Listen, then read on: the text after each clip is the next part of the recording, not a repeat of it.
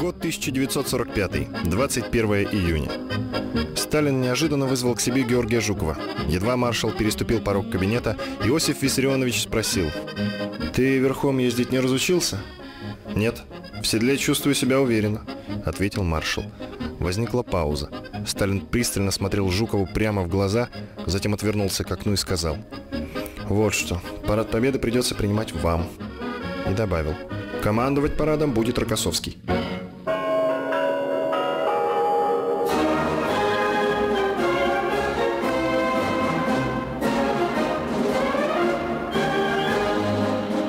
После этого разговора Жуков официально стал маршалом Победы. 24 июня 45-го, когда он под бой курантов и бурные аплодисменты въехал на Красную площадь, это звание в народе за ним закрепилось окончательно.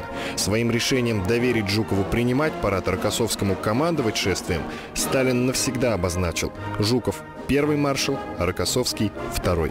Кстати, есть версия, что Жуков оказался на коне лишь потому, что Сталин неуверенно держался в седле. Но вождь всех народов уже не первый раз делал Константина Константиновича вторым номером. В ноябре 44-го Сталин по телефону снял его с командования Первым Белорусским фронтом, хотя перед его войсками открывалась дорога на Берлин. На вопрос военачальника «За что такая немилость?»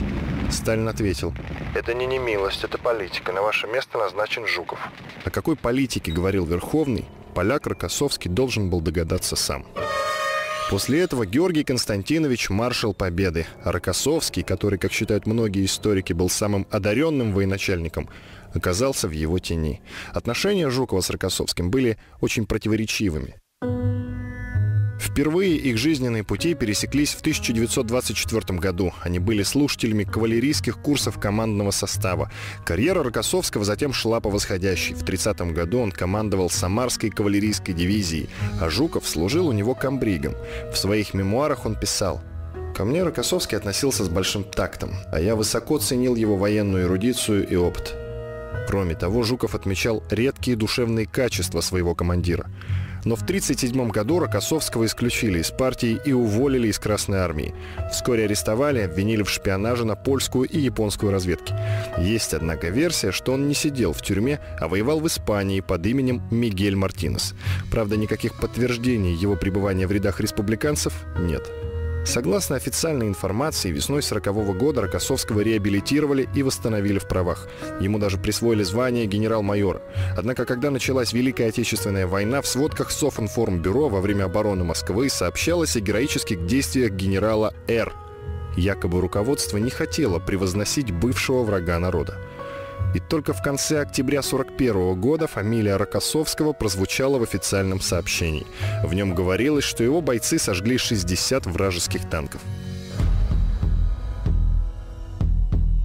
В то время Жуков уже был командующим войсками Западного фронта. В характеристике на генерала он писал Товарищ Рокоссовский успешно провел оборонительную операцию и не пропустил врага к Москве. Лично храбр, инициативен и энергичен. Должности командующего войсками армии вполне соответствует. Но Жуков вряд ли забыл, что во время боев на Истринском рубеже четко обозначилось расхождение взглядов двух полководцев на тактику и стратегию. Тогда Рокоссовский предложил отойти и организовать оборону. Жуков же приказал стоять насмерть. Тогда Константин Константинович обратился в Генштаб, где его план поддержали. Но Георгий Константинович прислал гневную короткую телеграмму «Войсками фронта командую я».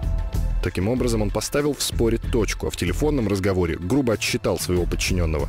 Поэтому Рокоссовский даже предупредил начальника, что если тот не сбавит тон, то он прервет разговор. Об этом эпизоде Рокоссовский вспоминал очень деликатно. Он писал «В тяжелые дни наш командующий не всегда отличался выдержкой, спокойствием и уважением к подчиненным. Солдаты любили Рокоссовского. Как-то раз на передовой они вручили командиру сделанный своими руками портсигар с надписью «Нашему Суворову».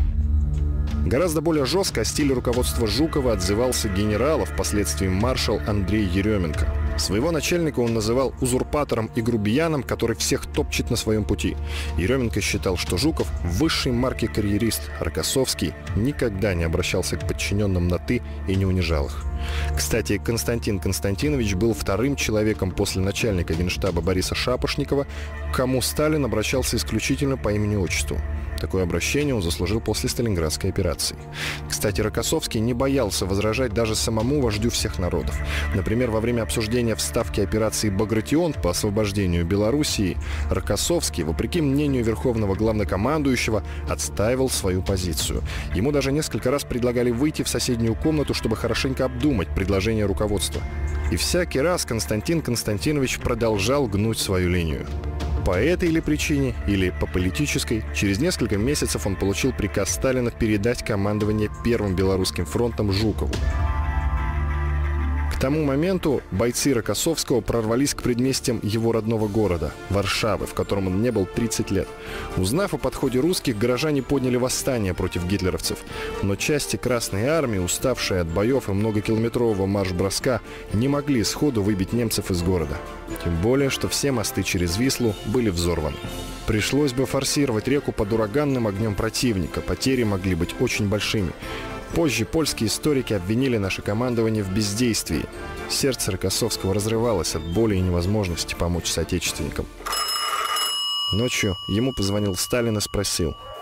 «Могут ли наши войска немедленно провести операцию по освобождению Варшавы?» «Нет», — после небольшой паузы ответил Рокоссовский. «Тогда сделайте все, чтобы облегчить положение восставших», — добавил верховный главнокомандующий.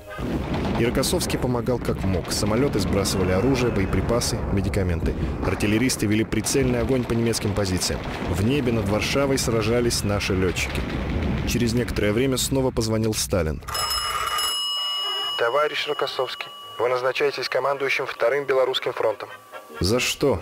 С присущей ему прямотой спросил маршал. Но этот вопрос Сталин оставил без ответа, но задал свой, чисто риторический. «Как вы смотрите на кандидатуру Жукова?» «Достойная кандидатура», — кратко сказал Рокоссовский. Он, наверное, сразу догадался о причинах своего нового назначения. Тем не менее, никогда не высказывал их вслух. А вот историки полагают, что всему виной происхождение маршала. Его отец – поляк из старинного шляхетского рода, мать из русских мелкопоместных дворян. К тому же на протяжении нескольких лет всеми любимый маршал считался врагом народа. А может быть, Сталин опасался растущего влияния двух военачальников и применил на практике проверенный метод – разделяй и властвуй. Как бы то ни было, но отношения Жукова и Рокоссовского стали более чем натянутыми. В этом признавался позже сам Георгий Константинович. Якобы он даже сказал Сталину, что чувствует себя неловко перед Рокоссовским. На что Иосиф Виссарионович заметил. «Мы же не красные девицы, поэтому все эмоции надо отбросить в сторону. Дело требует поступить так, а не иначе». Войска на Берлин повел именно Жуков. По самым приблизительным оценкам, в той битве погибли сотни тысяч красноармейцев. Некоторые исследователи полагают, что потери могли быть меньше, если бы операцией руководил Рокоссовский.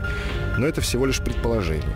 А факты говорят о том, что Рокоссовский возглавил Второй Белорусский фронт и на этом участке оказал Жукову неоценимую помощь. Во время Берлинской наступательной операции войска Рокоссовского сковали основные силы Третьей немецкой танковой армии, и она не смогла прийти на помощь гитлеровцам, которые обреченно сопротивлялись в столице Германии.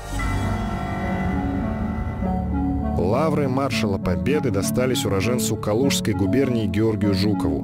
Рокоссовский в душе очень переживал, но не стал опускаться до сведения личных счетов. А в 1946 году Сталин не без причины стал опасаться невероятной популярности Жукова. На военном совете многие члены назвали бывшего триумфатора политически опасным человеком, нечестным коммунистом и обвинили в бонапартизме.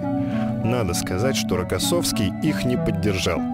В отместку и его попытались обвинить в строительстве настоящего дворца в Подмосковье. Но после внезапно организованной проверки выяснилось, что вместо маршальских хором Рокоссовский живет в простой избе. Вернувшись с войны, он не стал ее перестраивать. Принципиально Константин Константинович поступил в 1962 году, когда Никита Хрущев предложил ему написать статью о культе личности Сталина. На это Рокоссовский ответил, что Сталин для него велик и недосягаем, как Исполин. Ответная реакция последовала незамедлительно. Рокоссовского сняли с должности заместителя министра обороны СССР. Жуков, кстати, в этом вопросе с Рокоссовским был согласен. И это объединяло двух маршалов.